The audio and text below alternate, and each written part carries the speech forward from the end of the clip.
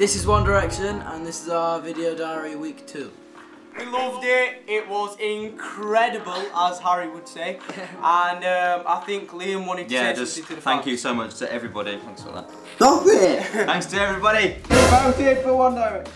We're really excited. Just happy to be here, and the, the work begins for another week. Really. It's going to be a very big performance, and we hope you all guys like it and vote for us again. So, Last week we asked for some questions. We've got one here from Eloise.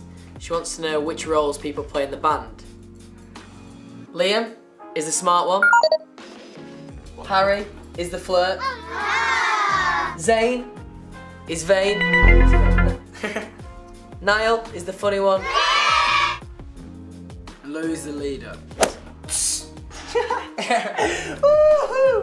Is that Louis the leader? Because uh, that's the only one that was left. Hey Justine, you had a question for us, and it was, what do One Direction look for in a girl now? What do we look for in a girl, boys? Shall I start? I'll shall I kick it off? yeah, you keep it. Um, I like a girl who's got really, really nice eyes.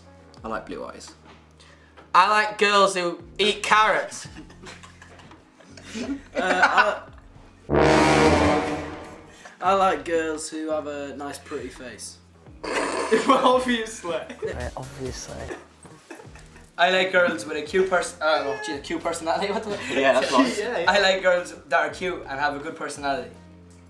Um, I look at a girl's smile. If she's got a nice smile, then uh, pretty much makes everything else worthwhile. Would you like to depress anything else? Hey Melissa, your question for us was, what's One Direction's favourite songs?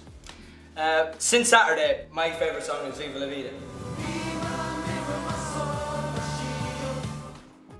Boys? Um, well, my favourite song has definitely got to be Barbie Girl. Not Usher. Uh, my favourite song is Free Falling by John Mayer.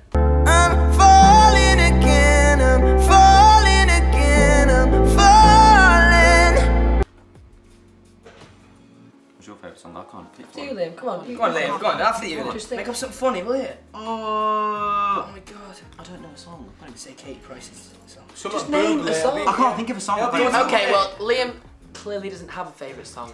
Mine, however, is Who Let the Dogs Out. Thank you very much! Yay!